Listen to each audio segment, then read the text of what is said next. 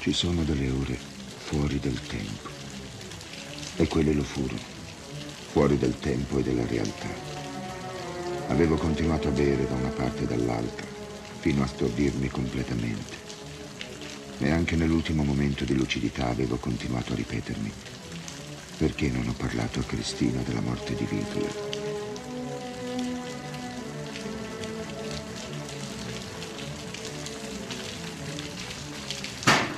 Hitler!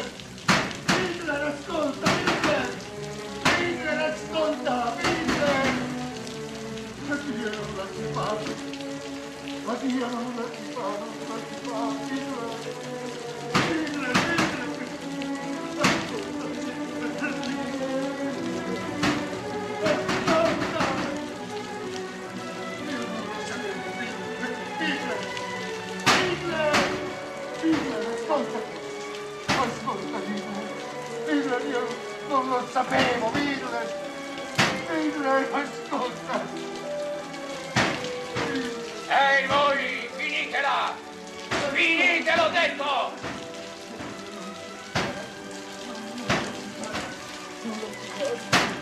Aprili! Adesso vi sono le orecchie io! Finitela! Finitelo, detto! Ho detto finitela!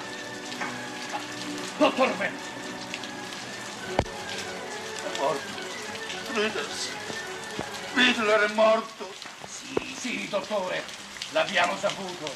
L'operazione è andata male. No, l'abbiamo ucciso. Ucciso.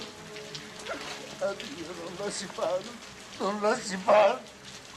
Lei è ancora sconvolto. E lo capisco, sì. Era un bravo uomo e non faceva male a nessuno. Aveva, aveva fiducia in me. E io l'ho messo nelle mani di quell'assassino, caro! Basta dottore! Basta adesso! Lei non è in condizioni di ragionare e sua moglie sarà in pena. Andiamo, andiamo bene. Non voglio vedere nessuno, specialmente lei, non, non mi capisce. Hitler non, non, mi capisce più, Hitler, Hitler. Questo lo dicevo anch'io di mia moglie. Lo si dice sempre delle mogli che capiscono proprio.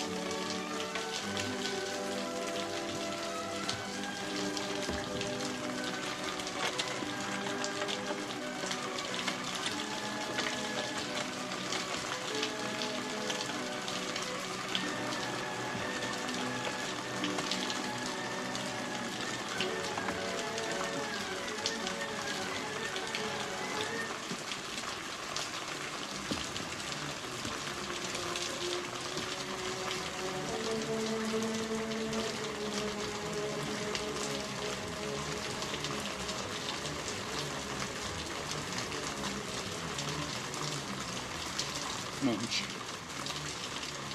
Vuole che la accompagni tu.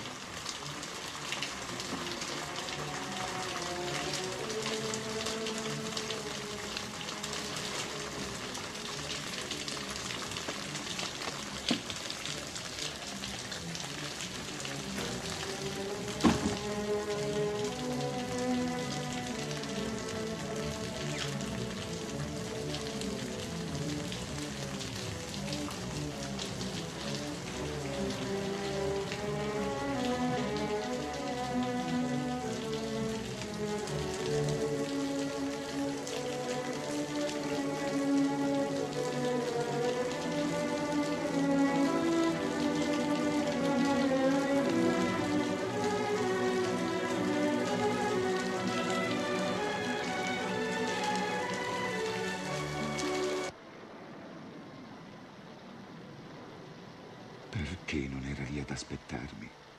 Non sentiva quanto bisogno avessi di lei.